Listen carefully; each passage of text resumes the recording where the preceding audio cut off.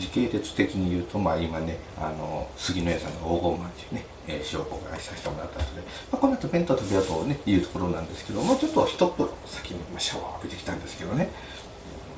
これが大変なんです。いやちょっとうかつなことをしました。これねあの三重の四日市のあの開発クラブのあのあかいあそうか会議付き防音個室でもなくてもいい、ね、でも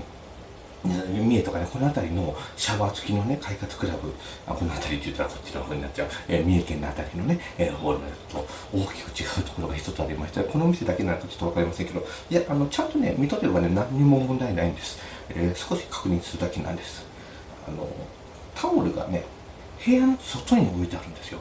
えっ、ー、とね、入ってすぐでも目に見えるところなんですよ。入ってね、シャワールームこちらですってなってね、あ、男子女子が分かれとってて、シャワールームこちらですってなってからね、シャワールーム入るところにタオルがポーンと置いてあるんです。で、そこから1、2部屋が分かれとって、それぞれ部屋に入って脱衣してってなってるんですね。ね、だからそういう意味では汎用ってそこでタオル持ってね、行きゃいいんですけどね、私が。三重県のね、開発クラブって、他のところもこっちが多いと思うんですよ。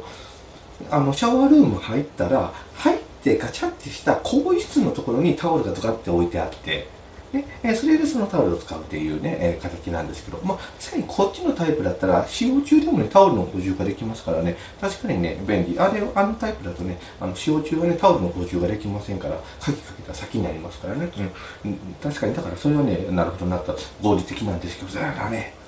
やっちゃいましたね。いつもね、あの、カチャって書いた更衣室のとこにあるね、勢いでね、ふんふんふんって入ってね、えー、ジャーって浴びたんですけどね、うん、さーって拭こうかなと思ったら、ないわけですよね、タオルが。え、え、タオルがない。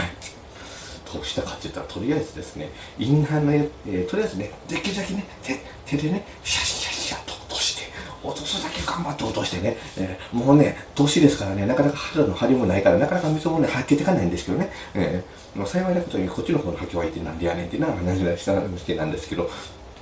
さで、えー、とりあえずインナーのねシャツでねある程度ざっと拭いて拭いてでも髪の毛を濡らした状態でもうあとちょっと上だけパッと着てとりあえず下パッと着て飾ったタオルをちょっとつらしてもらってとねえ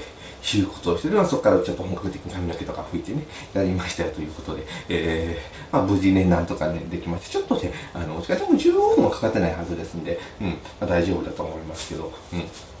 はいやっちゃいまして、ちょっとね、外活クラブの、ね、シャワー使うときはね、気をつけましょうね。このお水使うときは気をつけましょう。いや、そんなことね、言われやんでもね、わかるわいてね、でっかくタオルこちらと書いてありますからね、あれ気づかない私がダメなんです。いつもの感覚でスッて入っちゃいました。そんなことがありました。さあ、続いてはね、次の動画でね、あのちゃんと、あの、メインのね、お弁当紹介ね、やってきますんでね、そうそうそう、いう感じでございます。